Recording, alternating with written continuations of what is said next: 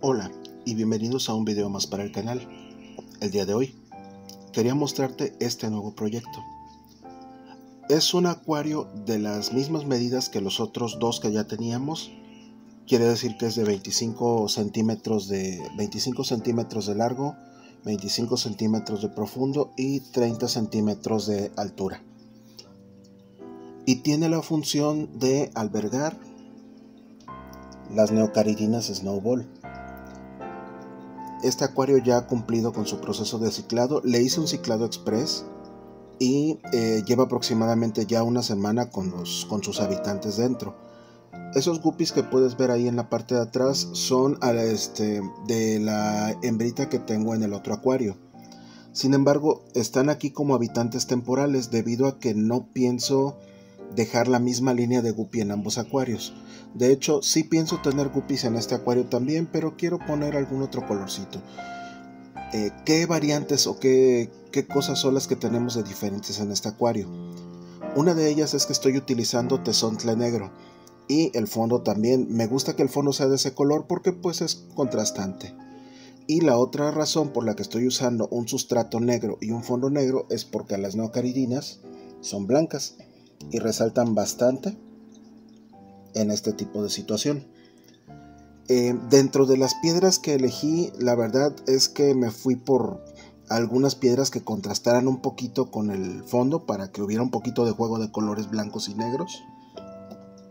Pero en una ida a la playa me acabó gustando mucho este pedacito de ladrillo. Y sí, es ladrillo.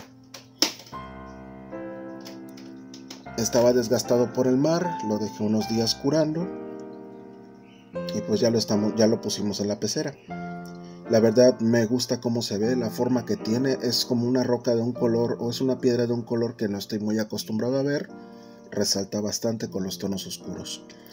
De plantas ya les hablaré en el video de la actualización del siguiente mes, ya que pues ahorita como tienen relativamente poco tiempo de haber sido sembradas, pues no han no han abierto del todo, no se han desarrollado del todo. Pero sí te había dicho que de una de las plantas del acuario o de un par de plantas del acuario eh, de 18 litros, el plantado, me había traído unas para acá. Y sí, también te había dicho que esta piedra me la traje de ese acuario. Al igual que la, la, planta que está aquí arriba, esta que está aquí, también me la traje de allá. Igual que la anubia. También le puse esta que es una higrópila compacta que es un recorte de la pecera del nano este, que es para beta, porque ya se había salido del acuario. Y esta que es una eh, Equinodorus Red que la, la, tenía en el acuario de 250 litros, sin embargo no había pegado muy bien que digamos. Y lo que he visto es que este tipo de plantitas como que estando solas o estando este, separadas de las demás, tienden a desarrollarse bastante bien. Ahora, ¿cuántas gambas tenemos? La verdad te puedo decir que a simple vista hay tres. De hecho, aquí hay, ahí hay una, se acaba de esconder, ahí va. Y solamente te voy a poder mostrar unas poquitas porque son difíciles de ver todavía. se ve mucho el reflejo del acuario marino. Pero aquí aquí hay una. Aquí está la segunda. Que también al parecer es una hembrita. Y por ahí hay una hembra que está ovada. Que hice bien en traérmela porque si no hubiera tenido los, los críos en la pecera, en la otra pecera donde está la red cherry y hubiera sido un desastre. Y también he visto por ahí, eh, vi por ahí en el acuario, en el otro acuario, una pero muy pequeñita.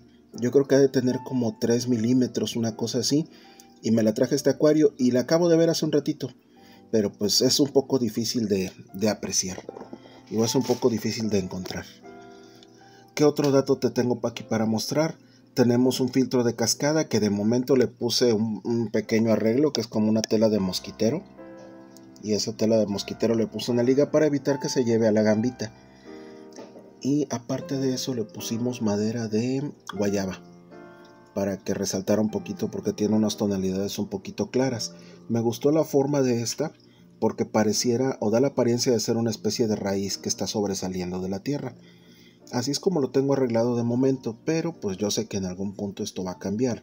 La nubia, por ejemplo, no me gusta cómo se da en esta pecera o cómo se, se nota en esta pecera, así que lo más probable es que la regrese al acuario de 150 litros. Y con respecto a las plantitas, pues ya te hablaré de las dos o tres nuevas que he colocado. Pero quiero que se desarrollen bien para que se vean mejor en el siguiente video. Así que esto es lo que te quería mostrar. Este es el nuevo acuario.